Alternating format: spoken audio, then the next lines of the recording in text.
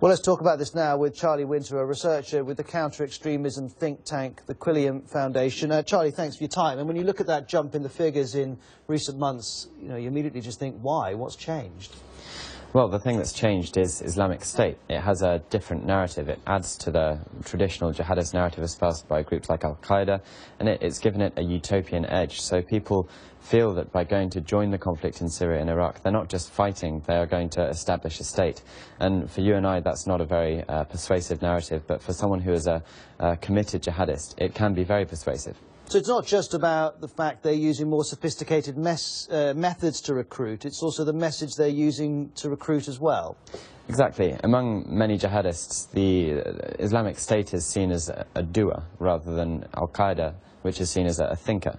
So that, that's a, a very important uh, difference that's emerged over the last few months in particular.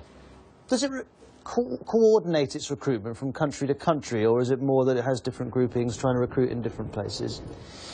The whole notion of, of recruitment is quite an ambiguous one. It's something which is decentralized and there's no structure, there's no outward structure that is uh, very easy to, to detect, but it is uh, across the world. I mean, we often hear about social media being a fundamental aspect of it, and that's true social media is not only a place where propaganda can be circulated and the kind of narratives and messaging that IS circulates can be, can be reinforced, but it's also somewhere where you can have very easy contact peer-to-peer -peer with people who are in the region, who have already joined the group.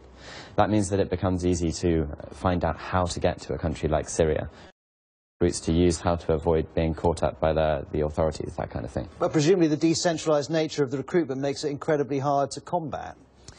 It certainly does. So, I mean, what is most important in all of this is to prevent rather than just react. So we hear about people being stopped in Turkey. That's very, very important. We hear about people being brought back to the, the UK uh, or other, host, uh, other home countries. That's also very important, but this is a long-term issue. It's very important that governments look towards preventing it in the long term. So that means the ideology. That means uh, so dismantling the ideology. That also means dismantling and dealing with the issues that render the ideology appealing. Uh, it's, it's a great many things that cause someone to find a group like Islamic State attractive, and it's going to be a difficult thing to prevent, but that's the key to all of this. Very useful. Charlie, thank you very much indeed. That's Charlie Winter from the Quilliam Foundation.